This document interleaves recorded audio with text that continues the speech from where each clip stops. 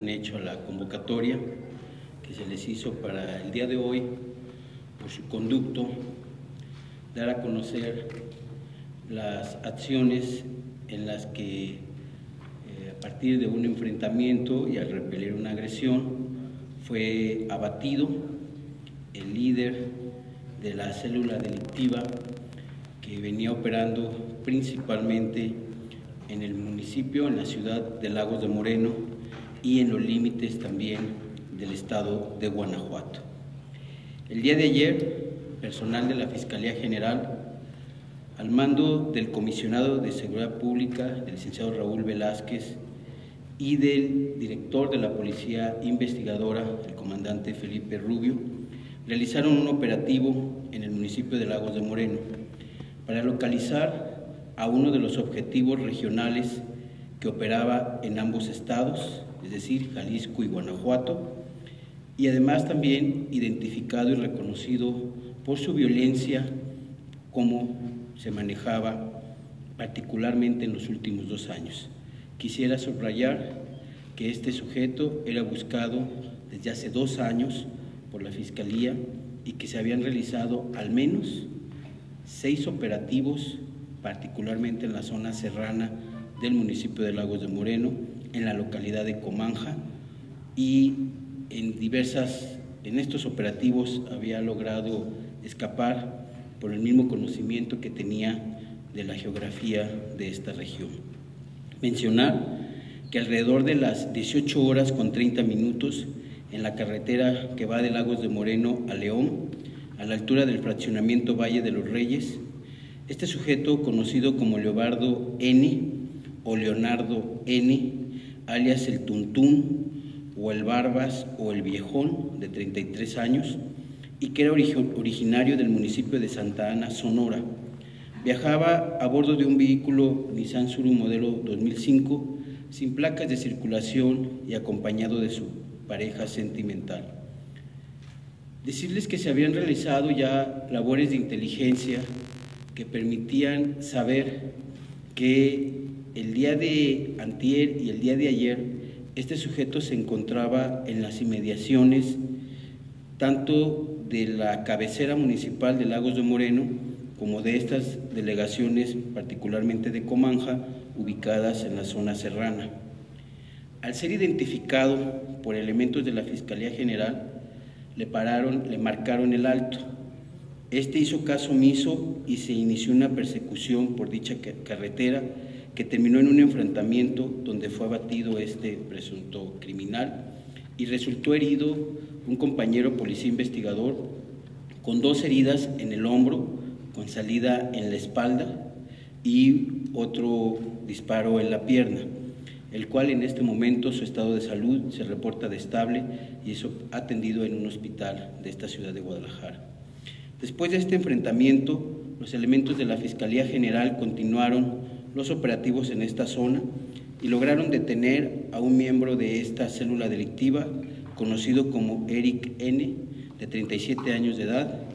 y quien fungía como uno de los operadores de este sujeto, y asimismo también, y que resultó herida en una pierna en el enfrentamiento, la mujer que le acompañaba, de nombre Abril N., de 19 años de edad. En este operativo fue asegurado un vehículo vehículo marca Suru, dos motocicletas, algunas dosis de droga, marihuana y cristal, y dos armas AK-47, así como dos pistolas calibre 9 milímetros. De acuerdo con las investigaciones que se vinieron realizando los últimos dos años, este sujeto conocido como el Tuntún formaba parte de un grupo delictivo que opera en la zona y en todo el estado. Y de la misma manera, esta célula que él fue creando se conformaba hasta el momento que hemos identificado de 33 personas y operaba fundamentalmente en un campamento ubicado en el rancho Las Palomas de este municipio de Lagos de Moreno. Este sujeto del Tuntún contaba con una orden de aprehensión por el delito de homicidio y narcomenudeo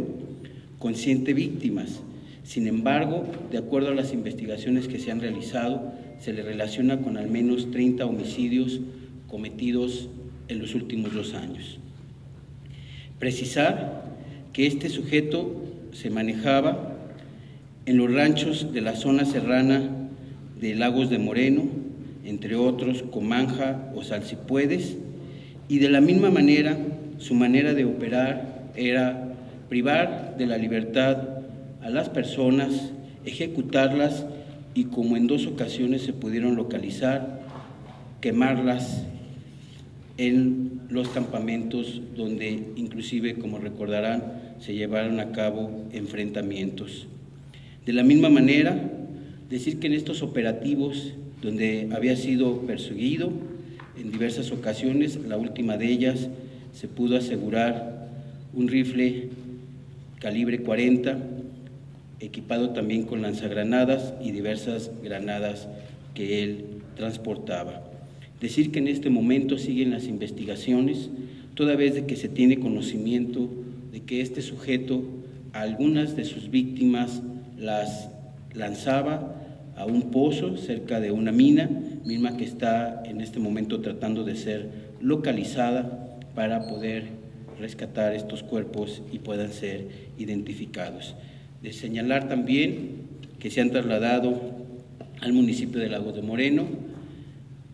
un grupo especial del Comisionado de Seguridad Pública, así como el apoyo de la Policía Federal y del Ejército para garantizar la seguridad y la tranquilidad de los habitantes de este municipio. Estoy a sus órdenes. Gracias. Señor, buenos días. ¿Esta persona tendrá relación con los hechos ocurridos en Bueno, eh, quiero comentar que el pasado día lunes y martes de esta semana se llevó a cabo una reunión en el estado de Guanajuato de la zona occidente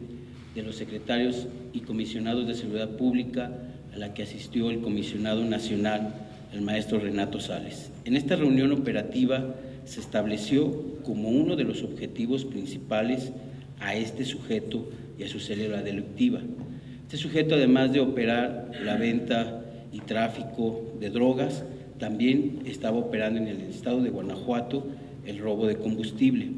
En este momento no podríamos asegurar si participó en los últimos eventos, sin embargo, se le tenía como uno de los presuntos responsables de haber participado en la ejecución y muerte de policías y en este caso de expendedores de una gasolinera del estado de Guanajuato. Sin embargo, no se ha confirmado. Nosotros estamos intercambiando información con las mismas autoridades de Guanajuato para poder establecer también la línea delictiva o sus responsabilidades en el vecino estado.